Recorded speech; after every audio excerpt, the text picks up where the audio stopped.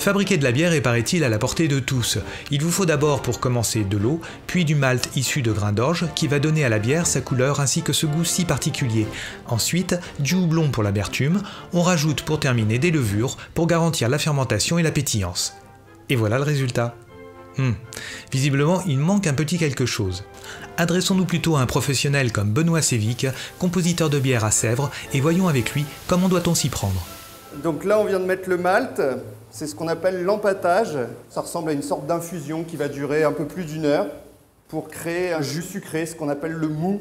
Et quand j'aurai atteint mon palier, je laisserai reposer et infuser pendant euh, une trentaine de minutes. Donc le houblon sera incorporé à une autre étape qui est l'étape de l'ébullition, qui sera un peu plus tard. Le houblonnage permettra euh, de donner l'amertume de la bière et le côté aromatique houblonné. Sèvres n'en est pas à son premier coup d'essai. Au début du siècle dernier, la brasserie de la Meuse, qui employait jusqu'à 300 ouvriers, arrosait toute la région parisienne en produisant jusqu'à 60 000 hectolitres de bière par an.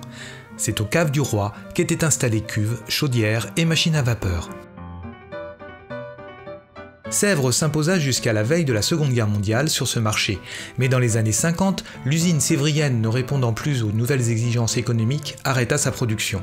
Les bâtiments seront progressivement démantelés jusqu'à leur disparition totale en 1988. Donc voilà, c'est euh, ça qui a un peu motivé aussi mon projet. je me suis dit, tiens, pourquoi pas relancer une, bière, euh, une bière locale sévrienne, avec des plus petits volumes bien sûr. Benoît sollicitera la mairie qui, emballée par l'originalité du projet, rénovera totalement un ancien local GPSO qu'elle lui proposera pour sa nouvelle activité. Ça, c'est une bière qui a fermenté pendant trois semaines.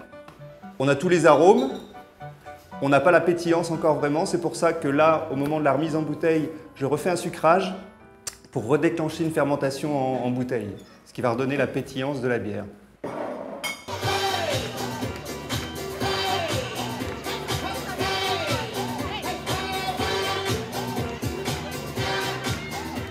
Et voilà comment du producteur au consommateur, la bière sévrienne trouve son public, comme ici à la Grande Tablée, où l'on est venu découvrir la blonde céramique et l'ambrée sévroise. Alors moi, ce que j'apprécie dans la sévrienne, c'est que c'est une bière qui a de la fraîcheur apportée par le houblon Mistral avec des belles notes citronnées, l'agrume, le pamplemousse. Elle est très aérienne, côté assez féminin. L'ambrée, elle, elle est un tout petit peu plus puissante, plus fumée, légèrement plus en épices. C'est pour ça qu'elle peut plaire à l'ensemble des sévriens.